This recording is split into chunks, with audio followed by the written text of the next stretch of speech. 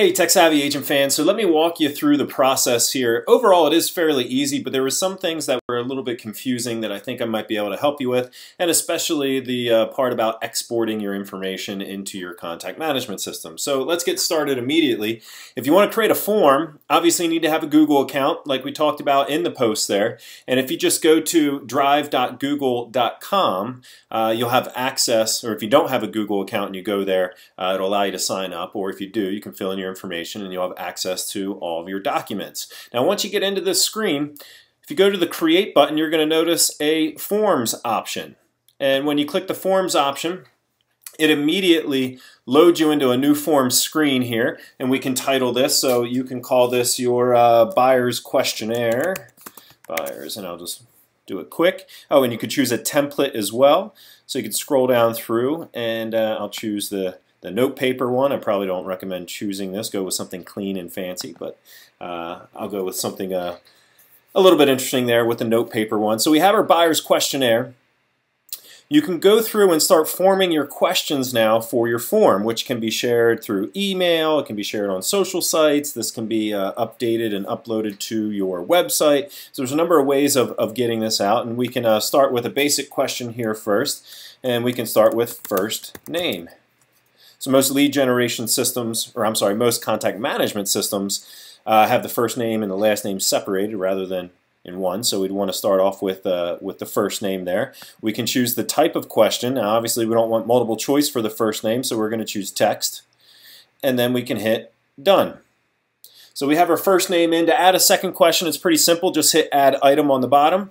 And Obviously, if we did the first name, we should go with the last name now as well. It'll remember that you want text uh, from the previous question. You hit the done button again, and you can also make this required as well by checking off the box. That means they have to fill out their first and last name if you check off that box. And I'll hit the done button again, and then we can add an item. And uh, let's say this was going to be, you know, a, a buyer's questionnaire. Uh, we can ask, you know, when uh, are you planning on moving? And we can have text or paragraph text, something a little bit bigger there. So in case they want to add a longer answer in, you could you could hook that up and hit the done button. And then you can also do some multiple choice questions here too. I'll just do one more question so we're not bogging down on this part. Uh, I'll just name this multiple choice. You guys can ask what, whatever you would like.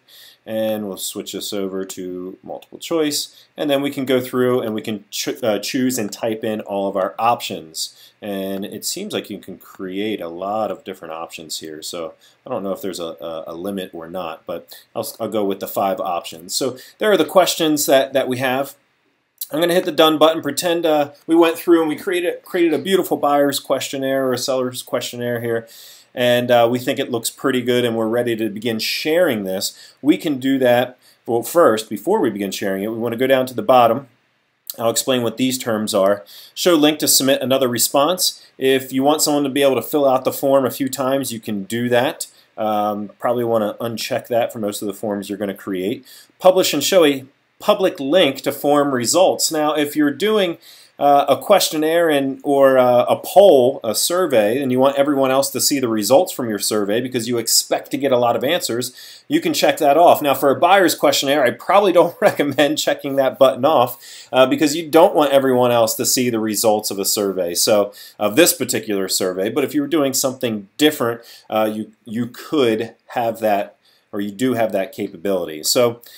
We're finished. We can uh, click the Send Form button on the bottom. We can view the live form up here on the top. Let's click that right now and just see what it looks like. So we selected our form, first name, last name. There's our paragraph response, our multiple choice. That's what it's going to look like on the web. We can make any adjustments or changes here. We can go ahead and change the theme if we would like.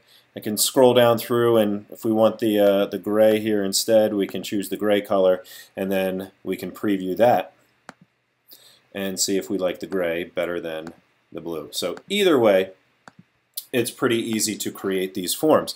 Now when we're ready to begin sending this form out, we go down to the bottom, you hit the send form button. You can send it out via email or you can simply just copy the link here that you see on the screen. And if we highlight the link, we can copy it, we can send it out, we can post it to social media websites, or you can use the embed button. And the embed button is going to give you it's going to give you the HTML code uh, that will allow you to paste this onto your website, so you can have this form embedded on your website. Choose the size of the form. Uh, pretty simple to do. So let's let's fill out this here. I'm going to fill it out real quick, and when we come back, I'll show you how we can pull that data and download it into our contact management system.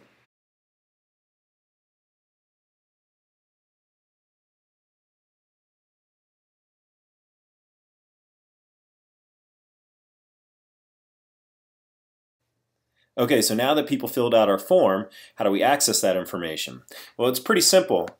Because you have your Google account, everything's saved back in your Google Drive. And when you go back into your Google Drive system, on the right-hand side of the screen, you're going to see your activity.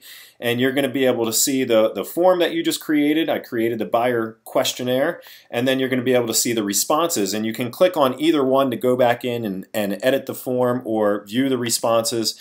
And if I go in and I check out the responses here, notice how it puts it into a convenient spreadsheet here for me. This is the spreadsheet option that's available through the Google, uh, the Google Docs. And you can see the answers are waiting for me right here. Now, how do we get this information into our contact management system? Well, I'll walk you through an example with, uh, with Top Producer because that's the contact management system I have access to, but it's pretty much going to be a similar process uh, for other systems that are out there. So we have this information in our form, and if we go up to the File button, we can hit Download As, and most systems out there will accept a CSV file, comma separated value. So if I choose comma separated value, it's going to download the buyer questionnaire, and which it just did. I'll just pull that right onto my uh, right onto my desktop there. And now I can go into my contact management system of choice. And if I'm doing it in Top Producer, they have an Import Contacts button, so I'll click that key. And it's going to ask me to choose the file to import and we will look for our buyer questionnaire. Where did I? Oh yeah, it would be under the B. That would make sense, Steve. Uh, so we're going to select the buyer questionnaire. I'll hit the open button.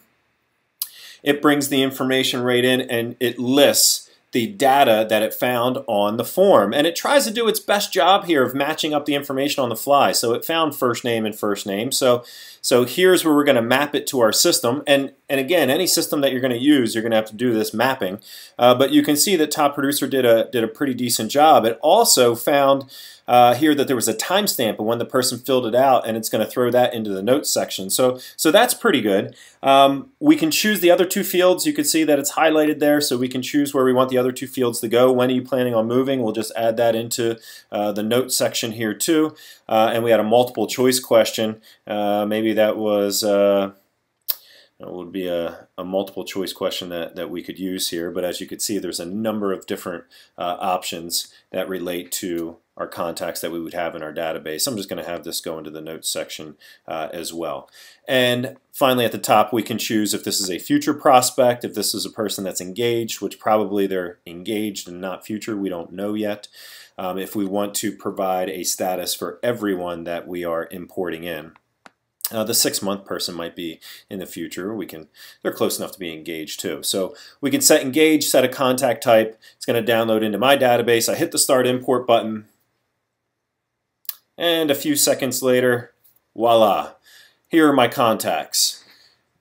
Imported in, updated two contacts there for me. I can view the contact information and you can see that I, I, did a test before this, that's why you're seeing a second one there on the screen. But the one on the top here, if I hit the View Contacts button, uh, it should open up the two contacts, John Jones and Joe Smith, and all of their information should be right here with everything else in the notes section. There we go. When do you plan on moving? Now, multiple choice question, option one.